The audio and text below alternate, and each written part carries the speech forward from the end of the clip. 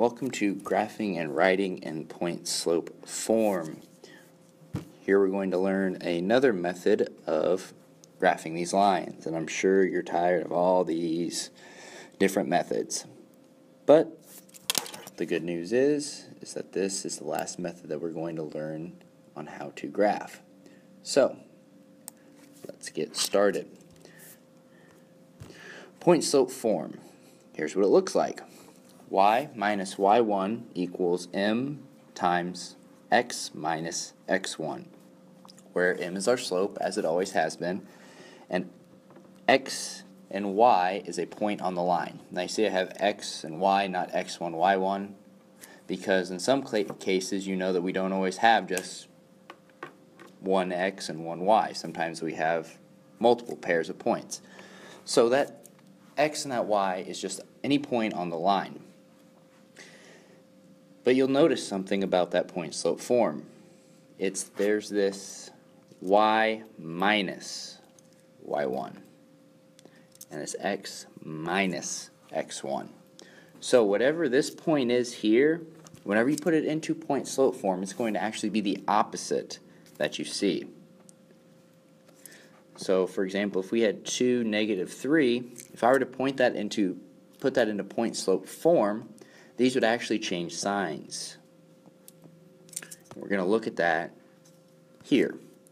So, graphing. Graphing in point slope form is pretty easy. It's similar to slope intercept form. We find one point that's on the line, and we use the slope to plot the rest. So we know what our slope is. It's always right here. It's always outside that parentheses with your x. So our slope is 1 half. Now we need to find that point on the line.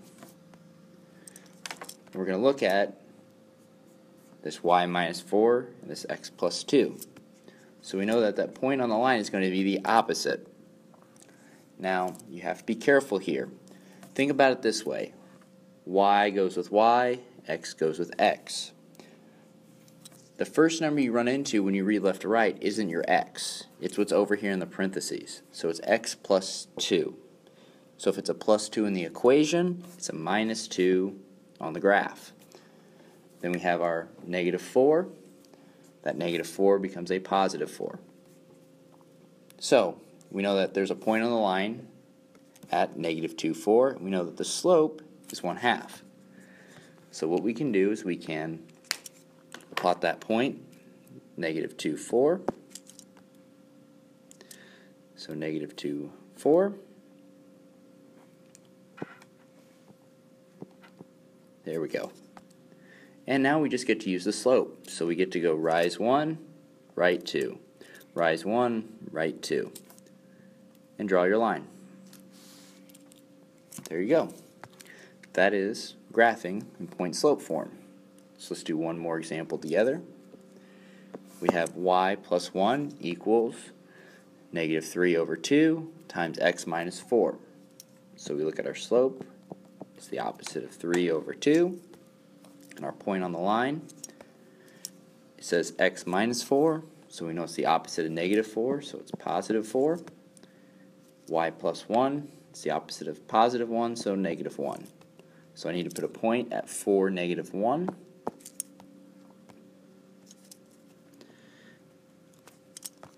And then use my slope to plot two more points. So we're going to go down three, one, two, three, and right two. If I can count. And then we're going to go down three again, and right two more, and graph. So here are two problems for you to try on your own. So go ahead and pause the video and try these now. Okay, and here are the answers to those practice problems. So go ahead and pause the video again and check your work with mine. Then we'll go on and we'll talk about how to write in point slope form. Um, at the top here, let's just write again y minus y1 equals m times x minus x1, just to remind ourselves what it looks like.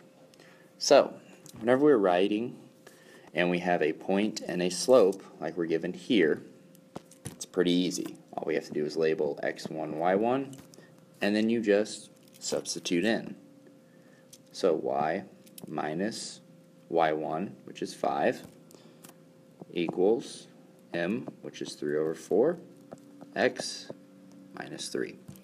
And you'll see that if we were to go back, just like when we were graphing, this minus 5 is positive at the point, this negative 3 is positive in the point, because we know that they are opposites.